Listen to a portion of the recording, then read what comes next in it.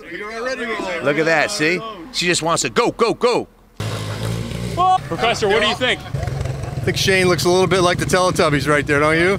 Oh, he does have a clutch. He's got a clutch. It's not That's fair. not even close to fair. not fair. reluctantly crouched at the starting line. Engines pumping and thumping in time. The green light flashes, the flags go up. Churning and burning, they yearn for the cup. They deftly maneuver and muscle for rank. Fuel burning fast on an empty tank. Reckless and wild, they pour through the turns. Their prowess Ken weighs three times as much as Shane does. turn as they speed through Who's the got more. CCs? Flags go down. Yo, we got the detail shop boys weighing in. Uh, who's gonna win this one, Ronnie? Who's gonna win this one? Your pops. The Honda all day. Yellow baby. Oh, Doc's, Doc's a Suzuki guy. He doesn't realize it's a Yamaha. Yo, Squirrel, what's up, bro? You got it, baby. Yo, shit. Who's winning this one? Hey, hey, if he don't change the gear in the yellow one, he'll make the magic happen. speed.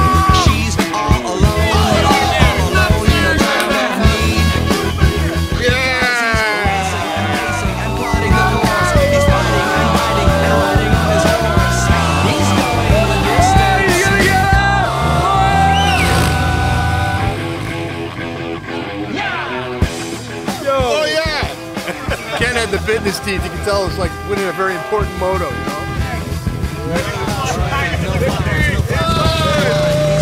Something he cannot define.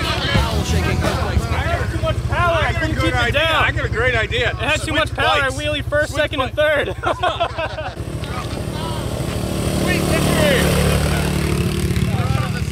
No, I saw Ken, Ken with his feet down. I Well, saw it, his foot what it, I did. it was a it was a close race.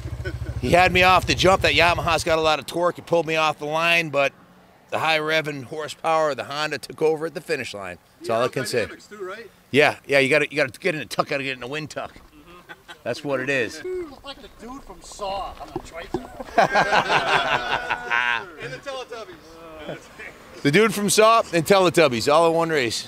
Yeah, well, we have to plan it another day because Shane is no match to Ken. This race was. And uh, this, this time we'll give Billy, Billy.